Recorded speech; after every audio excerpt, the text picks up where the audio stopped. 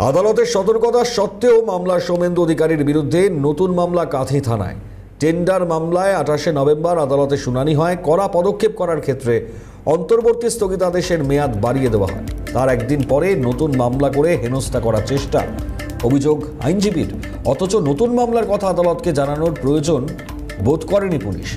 মামলা দায়ের করার অনুমতি বিচারপতি রাজশেখর মান্তার। আগামীকাল শুনানির সম্ভাবনা থাকছে এই মামলা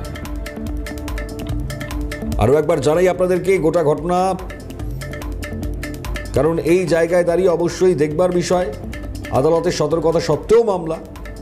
রাজশেখর মান্তা তিনি গ্রহণ করেছেন মামলাটি, আগামীকাল শুনানির সম্ভাবনা।